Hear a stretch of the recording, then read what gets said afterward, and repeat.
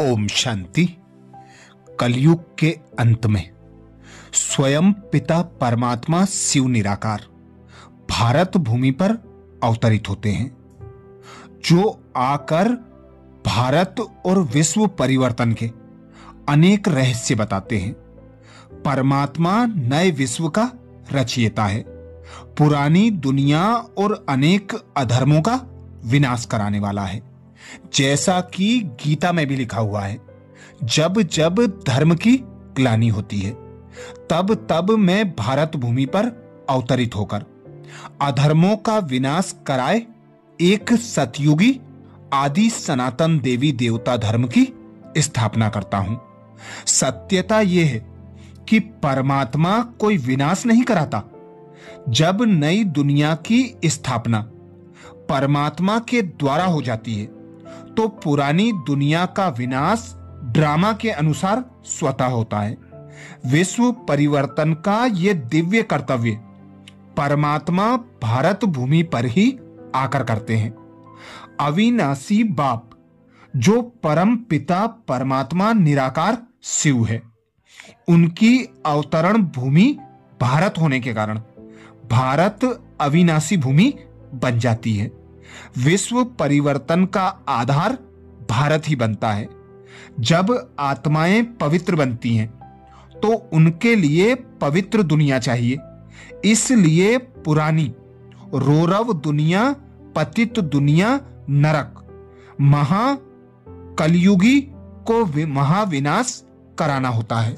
स्वयं भगवान ने भारत के विषय में खूने नाहे खेल का रहस्य बताया है।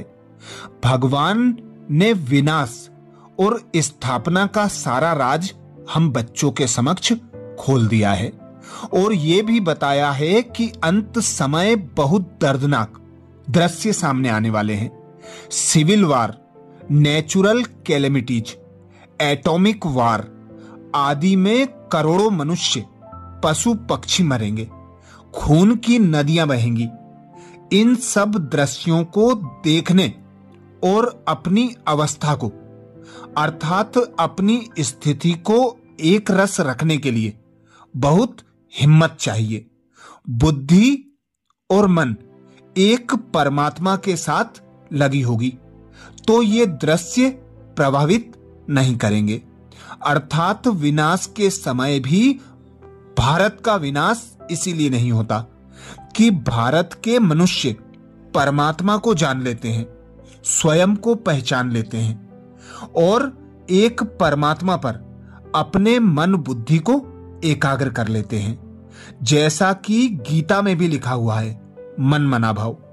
अपने मन और बुद्धि को मुझ परमात्मा पर एकाग्र कर लो। देह तथा देह के संबंधों को अब भूल जाओ। स्वयं भगवान कहते हैं अभी खूने नाहक खेल होना है। कलयुग का अंत है। नेचुरल कैलिमिटीज होगी। सबका मौत होगा। इसको देखने के लिए बड़ी हिम्मत चाहिए। डरपोक तो झट बेहोश हो जाएँगे। इसमें निडरपना बहुत चाहिए। भारतवासी ही शिव जयंती नहीं मनाते। इसलिए ही भारत की यह बुरी गति हुई है। भारतवासियों का मौत भी बुरी गति से होता है। वे तो गैस निकलना और खलास। विदेश के विदेशी लोग गैस निकली और खलास हो जाएँगे। अर्थात अणुबम परमाणु बम वहाँ विनाश का कारण बनेंगे।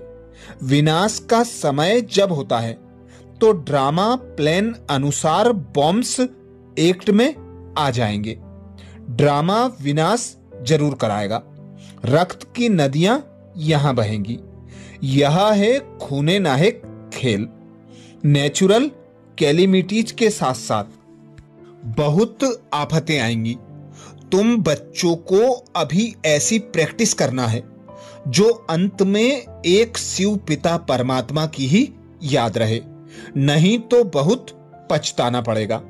हाय हाय के बाद फिर जय जयकार होगी। भारत में ही रक्त की नदियाँ पहनी हैं। सिविल वार के आसार भी दिखाई दे रहे हैं। तुम ब्राह्मण अभी भारत को स्वर्ग बना रहे हो। अर्थात भारत में ग्रह युद्ध होना है, जिसके कारण ही खून की नदियाँ बहनी हैं। इन नेचुरल कैलिमिटीज की भी नूंद ड्रामा में है। कल्प पहले भी हुई थी। जब यह झाड़ जड़जड़ी भूत हो जाता है, तब सारे भंबोर को आग लग जाती है। बच्चों को ख्याल करना चाहिए। कितना हाहाकार होगा। बहुत मरेंगे। बहुत खून रेजी होगी। भारत में यह लड़ाई बहुत कड़ी है। और जगह इतनी कड़ी लड़ाई नहीं लगती। यह यवनों की लड़ाई गाई हुई है। चीड़ फाड़ होगी। बहुत खराब लड़ाई है। देख भी ना सकेंगे। भारत में प्रकृति के पाँचों तत्व अपना विकराल रूप दिखाएँगे। कहीं आंधी, कहीं बाढ़, कहीं तूफ़ान। अनेक विधियों से इस पुरानी दुख देने वाली सृष्टि। कलयुग का अंत होगा। बाबा कहते, यह भी तुम जानते हो कि पिछाड़ी को यहाँ रक्त की नदियाँ बहती हैं। उस तरफ़ तो अर्थक्वेक से मरते हैं। उसमें कोई रक्त की नदियाँ नहीं बहती। यहाँ तो एक दो को खून करते हैं तो रक्त की नदियाँ बहती हैं। यह बहुत खराब, भयभीत करने वाला नज़ारा होता है। कोई सहन न कर सके। कमज़ोर तो फा हो जाएँगे। ये विश्व आत्मा और प्रकृति का खेल है। जब आत्मा पवित्र होती है तो प्रकृति भी पवित्र बनती है। विश्व में अमूलभूत परिवर्तन होता है, जिसको स्थापना और विनाश का नाम दिया जाता है। परंतु जब परमात्मा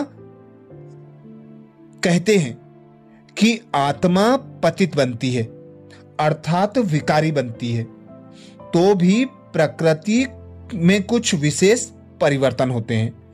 भूकंप आदि आते हैं, इसका भी स्वयं भगवान ज्ञान देते हैं। यह हार जीत का खेल है। तुम बच्चे श्रीमत पर चलकर अभी माया रूपी पाँच विकारों पर जीत पाते हो। फिर आधा कल्प के बाद रावण राज्य शुरू होता है। रावण जीत पा लेता है। बाप को नॉलेजफुल कहा जाता है। भगवान ड्रामा के आदि मध्य अंत को जानते हैं। वही ज्ञान हम बच्चों को आकर सिखलाते हैं। स्वयं भगवान पिता परमात्मा बताते हैं। द्वापर से जब देवताएँ वाम मार्ग में जाते हैं, अर्थात पतित बनते हैं तो भी दुनिया में परिवर्तन होता है। भूकंप आदि होते हैं, जिसमें देवीय सभ्यता विलीन हो जाती है और नई सभ्यता का जन्म होता है। पहले विश्व में जो सदाबहार मौसम होता था, वह भी परिवर्तन होता है, क्योंकि पहले पृथ्वी नब्बे अंश के कोण पर सीधी थी। वह तेवीस दशमलव पाँच अंश एक तरफ़ झुक जाती है। जिससे सारे विश्व की भौगोलिक स्थिति में परिवर्तन हो जाता है। भगवान भी भारत में ही आते हैं। दुनिया में पीस कब थी? फिर वह पीस कब और कैसे होगी? यह बात बाबा कहते तुम बच्चे बता सकते हो। नई दुनिया में भारत ही पेराडाइज था, अर्थात स्वर्ग था। सबसे जास्ती पत्थर बुद्धि ये भारतवासी ही बने हैं। यह गीता शास्त्र आदि सब हैं भक्ति मार्ग के। अब स्वयं भगवान आकर गीता का सच्चा सच्चा रहस्य बताते हैं, जिसमें भारत और विश्व के परिवर्तन का रहस्य। हम भाई बहनों को सम्मुख आकर ब्रह्मा मुख द्वारा समझाते हैं। तो इस स्थिति में, अपनी अवस्था को एक रस बनाने के लिए, बाबा कहते निरंतर एक पिता परमात्मा की याद रहे, और कुछ भी याद ना आए। देह तथा देह के संबंधों के आकर्षण से मुक्त हो जाओ। सुख सुविधा के साधनों से भी मुक्त हो जाओ। अब एक भगवान पिता निराकार परमात्मा पर मन बुद्धि को एकाग्र कर। उस परमात्मा की याद में रहकर, स्वयं को पवित्र बनाकर नई सतयुगी देवीय दुनिया में जाने का पुरुषार्थ करो। अच्छा ओम शांति।